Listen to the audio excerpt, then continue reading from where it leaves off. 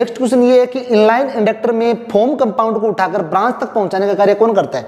Inline जो inductor होता है, यानी किसी लाइन के बीच में इंडक्टर का प्रयोग किया जाएगा, उसमें फोम कंपाउंड को उठाकर उस होज में ले जाने के लिए बीच में जो प्रयोग की जाती है, उसे क्या कहते हैं? ये क्वेश्चन है। क्या उसको नेपसेट टैंक कहते हैं डिलीवरी होज कहते हैं पिकअप ट्यूब कहते हैं ब्रांच कहते हैं? दोस्तों, इसका बिल्कुल राइट आपका होगा पिकअप ट्यूब और जिनका पिकअप ट्यूब नहीं देखा हुआ, वो देख लीजिए। ये होता है इनलाइन इंडक्टर ये जो आपको दिखाई दे रहा है ट्यूब ये जो आपको दिखाई इसको बोलते हैं पिकअप ट्यूब जो फॉर्म कंपाउंड को उठाकर कहाँ तक देता है?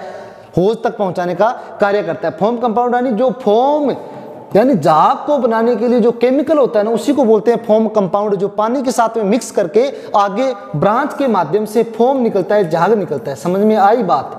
ठीक है? चलिए भाई नेक्स्ट क्वेश्चन